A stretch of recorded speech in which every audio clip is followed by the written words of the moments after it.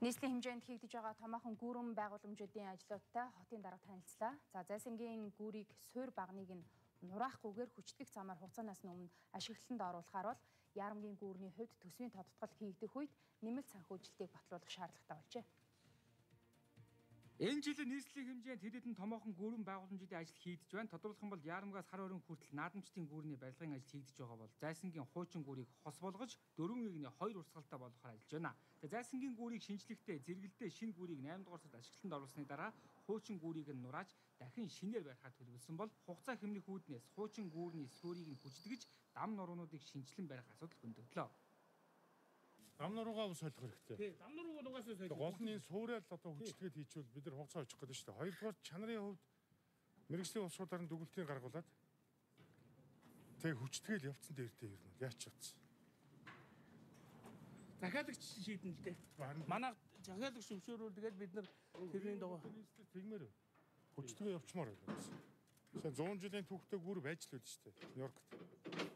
Тэгээд одоо яг нөгөө дөнгөж байгаагаар дүгнэлт гаргалт нөт санхүүжилтийн асуудал гэж бас тэгэхээр. Яг л тэгээд дүгнэлт гаргаад санхүүжилтийн асуудал шийдэл явъя л гэж. Бүгдийг буулгажсанд орвол наад суурийн авчулдээд хүчтгээд тэгээ стандартын шаардлагад нийцсэн байлаа хүчлэглээ хийгээл гол нь дээд л байгаа дам нуруугаа солиод эн чинь 67 оноос хойш ерөөсөө их засвар юунд ороогүй шинжилт ороогүй учраас бас асуудалтай шүү дээ. Тэр дам нуруугаа солиод шилжүүлээл хугацаа очих юм шүү. Хугацаа очих.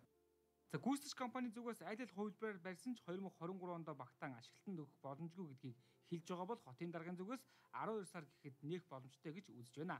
Харин яармагт баригдаж байгаа шинэ гүүрний хувьд төсвийн тодтгол хийгдэх үед нэмэлт санхүүжилтийг нь тусгуулна гэж тайлбарлалаа. За яарамгийн гүүр бол 8 сарын бас нэгэн гэхэд зорч хэсгээ нээхээр бас ажиллаж байгаа. Ер нь дам нуруунуудаа бүгдийг цутгацсан байна. А суурай бол одоо ингээд цутгаад хугацаанд оруулна. А дээрэс нь бидний зүгээс бас хүлээх үүрэг гэж байгаа. Энэ нь болохоор нөгөө төсөвдөр хөрөнгө оруулалтын их усүр санхүүжилтийн товтлолтой их усүрийг тавьж өгөх. Тэгээ энэ нь засгийн газрын хуралдаан дээр хөгжлөлийг боруулах хүнсний хороондох хэлсүүсийн дагуу засаг дээр одоо танилцуулаад ер нь төсвийн тодорхой хэлэлцгээр нь бид нар энэ хөрөнгө оруулалтын асуудлыг бас тавиад ингээд явнаа. Улаанбаатар хотын төгжрлийг бууруулах хүрээнд хийгдэж байгаа эдгээр гол гүүрэн байгууламжуудын ажлуудыг цаг хугацаанд нь саадгүй гүйцэтгэх нь чухал байна. Гэхдээ хугацаа хэмнэж байна гэд аюулгүй байдал стандартыг нь алдагдуулж болохгүй мэрэгжлийнхний дүгнэлтэнд үндэслэн гүйцэтгэх ёстойг санууллаа.